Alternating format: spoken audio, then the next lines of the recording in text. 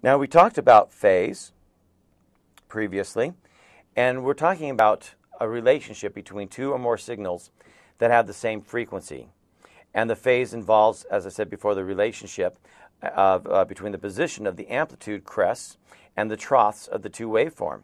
So if I had a signal that I generate, uh, I know it's not very accurate in my drawing, but if I have this uh, signal, this frequency, and I say, okay, you know, it started at zero degrees, and then that same uh, frequency is transmitted again.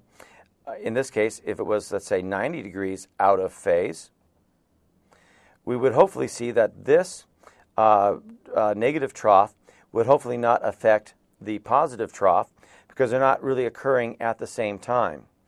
Um, so, in fact, if I had, let's say, let me make another chart.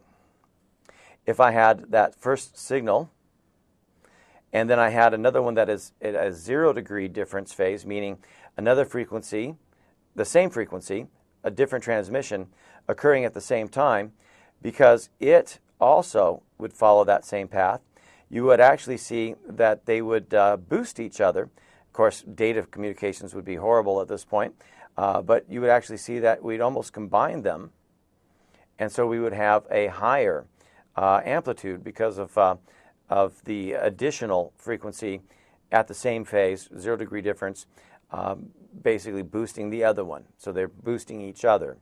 If they were 180 degrees out of phase, let's see if I can try to do a better sine wave this time.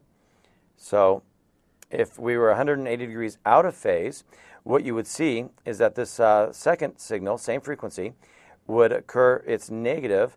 At the same time, this one's at a positive crest. And uh, so both of those would basically cancel each other out, or could cancel each other out. It does also depend on the amplitude of each of those transmissions.